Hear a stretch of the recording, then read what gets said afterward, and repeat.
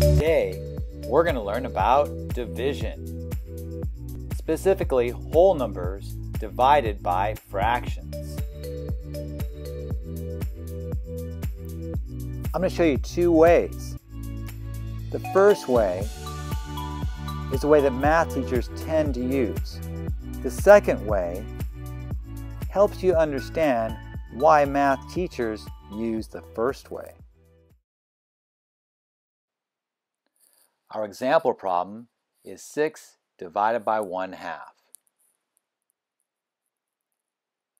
What are we going to do? This 6, I'm going to put it right here.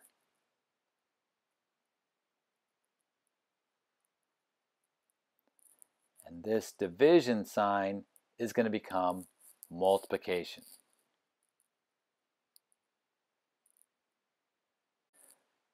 This 1 half, what are we going to do with this? Well, we're just going to flip it.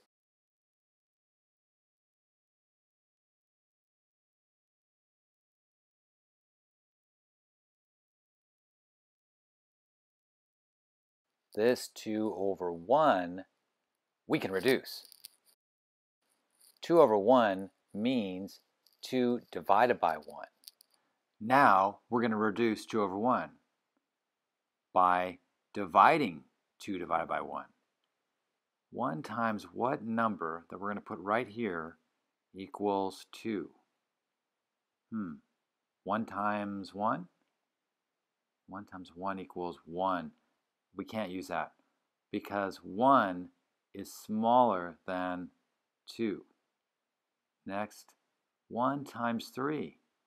We can't use that because 1 times 3 equals 3. And 3 is larger than 2. Hmm. 1 times 2. Perfect. Because 1 times 2 equals 2.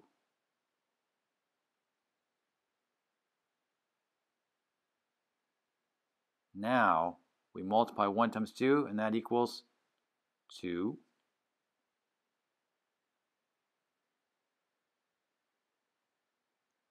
Next, what are we going to do? Subtract. 2 minus 2 equals 0.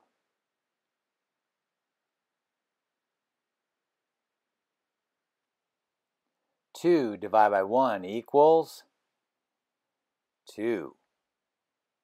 Next, 2 over 1 becomes 2.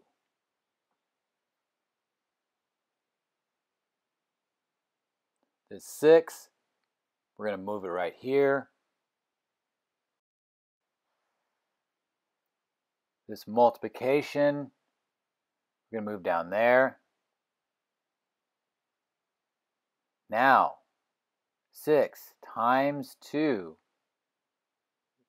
equals 12. The answer is 12.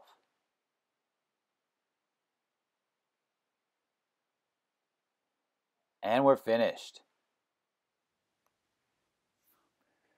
Some people see this process and they can't understand it. They become confused. This division sign becomes multiplication. Well, why does that happen? And this 1 half flips and becomes 2 over 1. Why does that happen? Keep watching and you will learn why. Now, we're going to solve the same problem using the second way.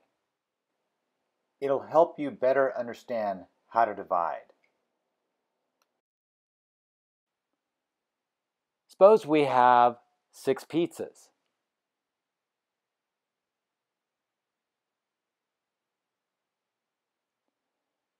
Our problem is 6 divided by 1 half.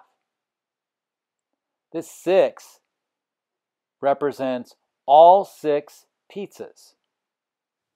This divided by 1 half means each pizza we're going to have to split in half.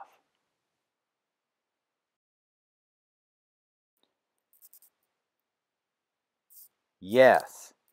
Now, What do we do? Count each slice. One, two, three, four, five, six, seven, eight, nine, ten, eleven, twelve. Twelve. Six divided by one half equals twelve.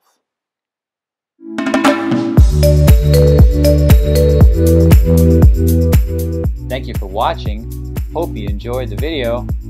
Now, watch more math videos.